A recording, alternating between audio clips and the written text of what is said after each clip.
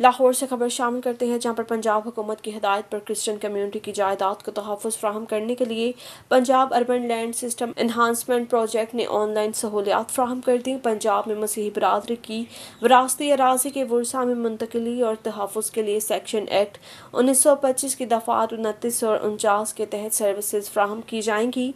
मसीही बरदरी की खासकर खातन की वरासती जायदाद के तहफ़ के लिए वसी पैमाने पर इकदाम किए जा रहे हैं। सेक्शन एक्ट उन्नीस सौ पच्चीस के तहत मसीही खातन को विरासत में मर्दों के बराबर मसावी हकूक दिए जा रहे हैं। मसीही बरदरी ने विरासती जायदाद में औलाद को आग करने की कोई कानूनी हैसियत ना है। Punjab urban land systems enhancement ने इंतबा कर दिया है कि प्लस प्रोजेक्ट के तहत आम देहाती इलाका जात और कम पढ़े लिखे मसीही अफराद को विरासती हकूक और विरासती जायदाद के तहफ़ के लिए आगाही मुहिम का सिलसिला तेज़ कर दिया गया है।